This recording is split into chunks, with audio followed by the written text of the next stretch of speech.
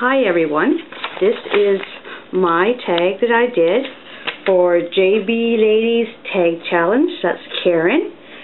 And this one uh, was hard to decide on, but what I've done with it is made like a little shadow box and I painted the sky just with some inks and then I fussy cut some ladies out from Ladies Diary and the wallpaper inside is all from Ladies Diary. Let me go back here a bit. Okay, I have down at the bottom, I have some roses that I cut from Spellbinders Rose Creation.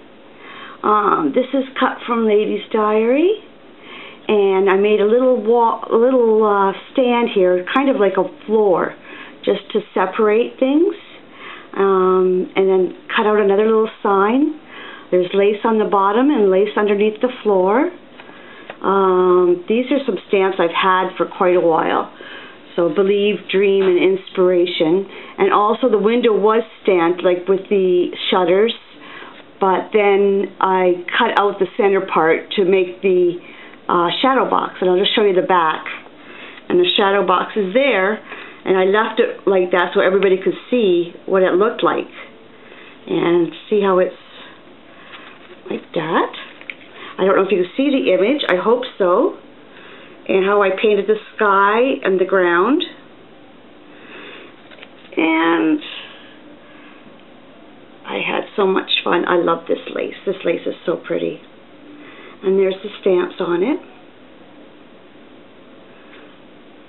Everything there. A little clock at the top. Just to make it look like there's a little vignette in there. Ah, stand up. There's a little vignette in there. And some seam binding and a little doodads and a piece of ribbon. Uh, a little bow hanging.